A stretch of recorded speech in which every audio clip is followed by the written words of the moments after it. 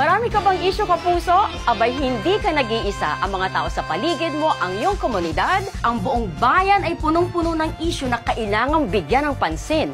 Pag-usapan natin yan. Sumama na sa talakayan dito sa isyo at iba pa. Sabado alas 8 hanggang alas 9 ng umaga. Easy